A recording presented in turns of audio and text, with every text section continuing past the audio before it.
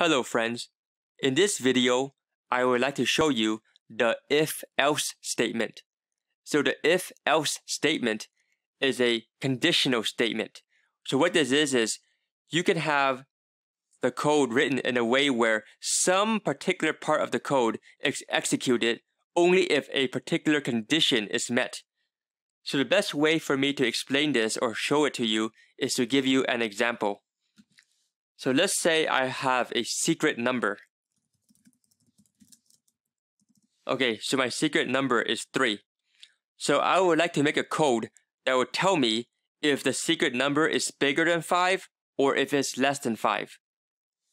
So I can say if my secret number is bigger than 5, then I should execute some code. For example, I can say print the number is bigger than 5. Okay, so what if it's not bigger than 5? So what else could it be? If, so you put elif, which is else if, the secret number may be equal to 5. In that case, I want to print the number is equal to 5. And finally, else, because if it's not bigger than 5 and it's not equal to 5, then what else can it be? It must be less than 5. So print the number is less than 5. So you see I ran it, the code, and it says the number is less than 5. Okay, so some points I want to show you is, you see it says the, here is the condition. If secret number is bigger than 5. So you put the condition, secret number bigger than 5, and you follow with a colon. Okay, so if this condition is met, then whatever command is that is nested inside of this if will be executed. So you see how there's an indentation here. So this is called nesting. So the print command is nested within this if condition. So it will print the number is bigger than 5. So what if it's not bigger than 5? Then you can go to the next condition, which is else if the secret number is equal to 5. So you notice that for equal, I actually have two equal signs.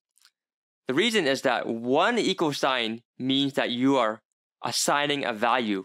So here I have secret number equals 3, which means the number 3 is passed to the, the variable secret number. So I'm assigning the value of 3 to the variable secret number. But over here, I am not assigning the number 5 to the variable secret number. Instead, I am saying take the existing secret number and compare it to 5 to see if they are equal. So the double equal means to compare, okay? It's not to assign a value is to compare. So secret number, is it the same as 5? If it is, then I will execute the code here. Print, the number is equal to 5. Okay, what if the secret number is not equal to 5? Then you go to your next condition. So if this is your last condition, then you can just put else colon. You don't necessarily need a condition, although you, do, you could put a condition. So the last condition is just if it's less than 5, obviously. So I just print the number is less than 5. Now it is possible for you to just have one if condition by itself.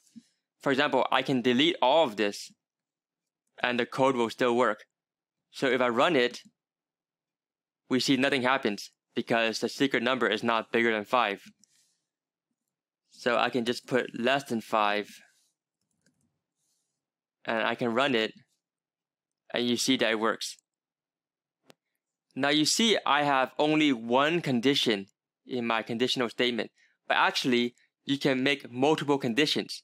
For example, let's say I want to know is the number less than 5 but bigger than 1. You can do that. You can say and secret number bigger than 1. So I can say the number is less than 5, but bigger than 1. And in this case, when I run it, the answer is it is. The number is less than 5, but bigger than 1. Another thing that you can do is instead of just less than or greater than, you can put less than or equal to and greater than or equal to. For example, I can delete this and I can say if secret number is less than or equal to 5. So the number is less than or equal to 5. So if I run it, okay, it's, it is less than or equal to 5. So where if I put 5, it should still work. So again, it works. Now if, if I put 6, then it does not execute. Another thing that you can do is to have two conditions, but instead of using AND, you can also use OR.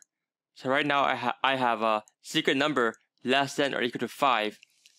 I can also put OR secret number is greater than or equal to 8. For example, I could do that. So I'll put OR greater than or equal to 8. So right now it should not execute. Okay, but what if I put 3? Then it should execute. Yes. If I put 13, it should also execute. Okay, so it does. Okay friends, that's it for this video. If you found this video to be valuable to you, then please like, comment, and subscribe, and I'll see you in the next video. Thank you.